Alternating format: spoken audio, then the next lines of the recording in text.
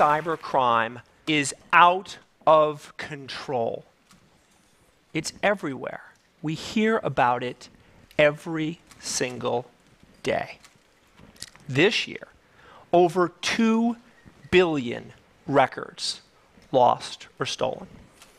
And last year, 100 million of us, mostly Americans, lost our health insurance data to thieves, myself included. Now, what's particularly concerning about this is that in most cases, it was months before anyone even reported that these records were stolen. So, if you watch the evening news, you would think that most of this is espionage or nation state activity. And well, some of it is. Espionage, you see, is an accepted international practice.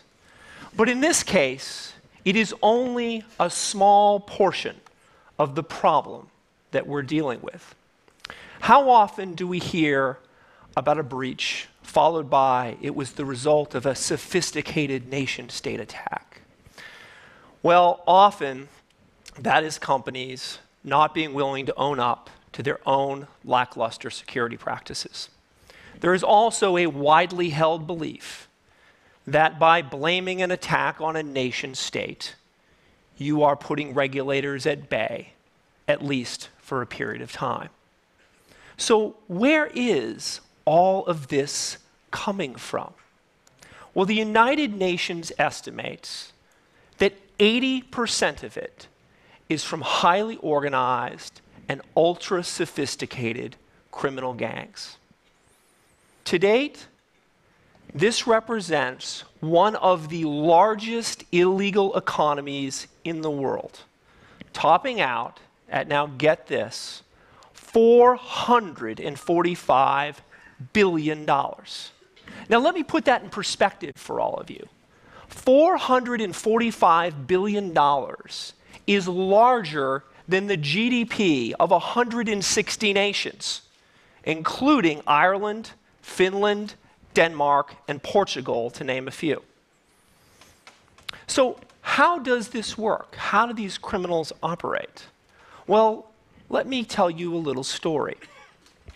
About a year ago, our security researchers were tracking a somewhat ordinary but sophisticated banking Trojan called the Dyre Wolf.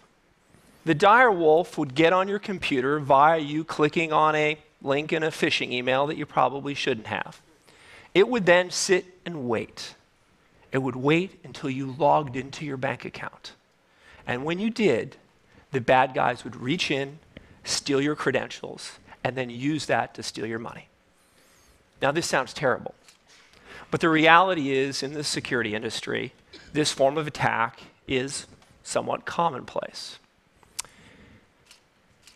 However, the Dyre Wolf had two distinctly different personalities. One for these small transactions, but it took on an entirely different persona if you were in the business of moving large scale wire transfers. And here's what would happen. So you start the process of issuing a wire transfer, and up in your browser would pop a screen from your bank indicating that there's a problem with your account and that you need to call the bank immediately along with the, fraud, the number to the bank's fraud department. So you pick up the phone and you call. And after going through, you know, kind of the normal voice prompts, you're met with an English speaking operator. Hello, Altoro Mutual Bank. How can I help you? And you go through the process like you do every time you call your bank of giving them your name and your account number, going through the security checks to verify you are who you said you are. Now, most of us may not know this, but in many large scale wire transfers, it requires two people to sign off on the wire transfer. So the operator then asks you to get the second person on the line and goes through the same set of verifications and checks. Sounds normal, right? Only one problem you're not talking to the bank, you're talking to the criminals. They had built an English speaking help desk, fake overlays to the banking website, and this was so flawlessly executed that they were moving between a half a million and a million and a half dollars per attempt into their criminal coffers. Now, these criminal organizations operate like highly regimented, legitimate businesses. Their employees work Monday through Friday. They take the weekends off. How do we know this? We know this because our security researchers see repeated spikes of malware on a Friday afternoon. The bad guys, after a long weekend with the wife and kids, come back in to see how well things went. The dark web is where they spend their time. That is a term used to describe the anonymous underbelly of the internet, where thieves can operate with anonymity and without detection. Here they peddle their attack software and share information on new attack techniques. You can buy everything there from a base level attack to a much more advanced version. In fact, in many cases, you even see gold, silver, and bronze levels of service. You can check references. You can even buy attacks that come with a money back guarantee if you're not successful. Now, these environments, these marketplaces, they look like an Amazon or an eBay. You see products, prices, ratings, and reviews. Now, of course, if you're going to buy an attack, you're going to buy it from a reputable criminal with good ratings, right? this isn't any different than checking on Yelp or TripAdvisor before going to a new restaurant. So here is an example. This is an actual screenshot of a vendor selling malware. Notice they're a vendor level four, they have a trust level of six. They've had 400 positive reviews in the last year and only two negative reviews in the last month. We even see things like licensing terms. Here's an example of a site you can go to if you want to change your identity. They will sell you a fake ID, fake passports, but note the legally binding terms for purchasing your fake ID. Give me a break. What are they going to do? Sue you if you violate them? this occurred a couple of months ago. One of our security researchers was looking at a new Android malware application that we had discovered. It was called Bilalbot. Now, in a blog post, she positioned Bilalbot as a new, inexpensive, and beta alternative to the much more advanced GM bot that was commonplace in the criminal underground. Now, this review did not sit well with the authors of Bilalbot. So they wrote her this very email, pleading their case and making the argument that they felt that she had evaluated an older version. And they asked her to please update her blog with more accurate information and even offered to do an interview to describe to her in detail how their attack software was now far better than the competition.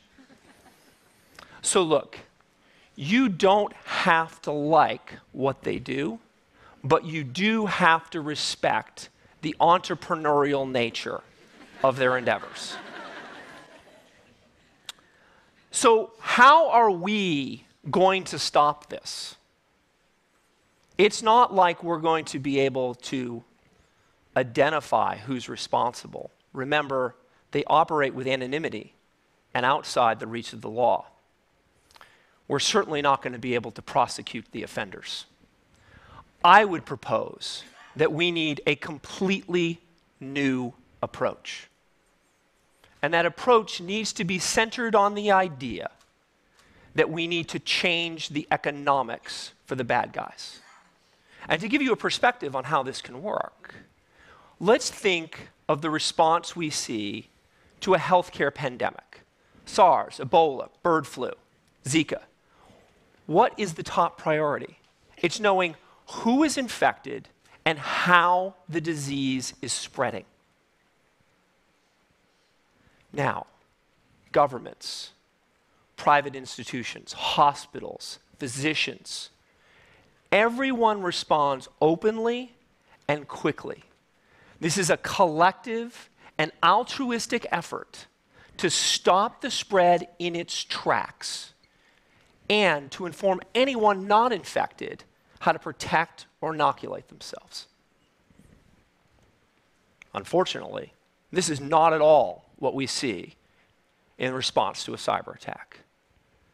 Organizations are far more likely to keep information on that attack to themselves. Why? Because they're worried about competitive advantage, litigation, or regulation. We need to effectively democratize threat intelligence data. We need to get all of these organizations to open up and share what is in their private arsenal of information.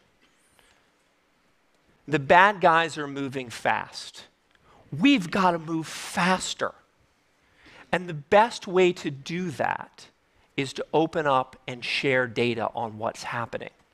Let's think about this in the construct of security professionals. Remember, they're programmed right into their DNA to keep secrets. We've got to turn that thinking on its head.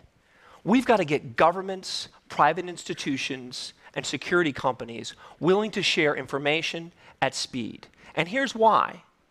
Because if you share the information, it's equivalent to inoculation. And if you're not sharing, you're actually part of the problem because you're increasing the odds that other people could be impacted by the same attack techniques. But there's an even bigger benefit. By destroying criminals' devices closer to real time, we break their plans. We inform the people they aim to hurt far sooner than they had ever anticipated. We ruin their reputations. We crush their ratings and reviews. We make cybercrime not pay. We change the economics for the bad guys.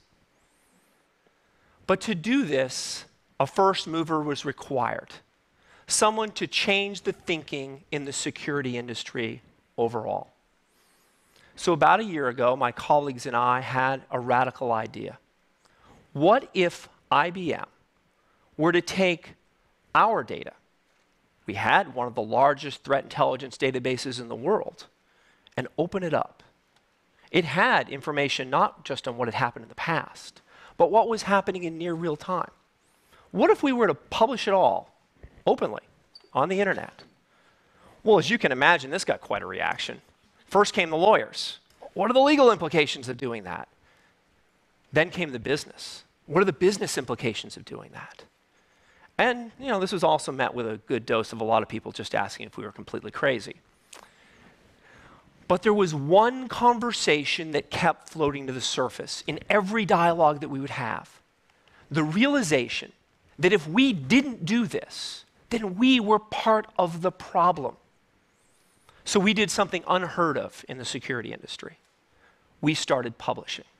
Over 700 terabytes of actionable threat intelligence data, including information on real time attacks that can be used to stop cybercrime in its tracks. And to date, over 4,000 organizations are leveraging this data, including half of the Fortune 100. And our hope as a next step is to get all of those organizations to join us in the fight and do the same thing and share their information on when and how they're being attacked as well. We all have the opportunity to stop it, and we already all know how. All we have to do is look to the response that we see in the world of healthcare and how they respond to a pandemic.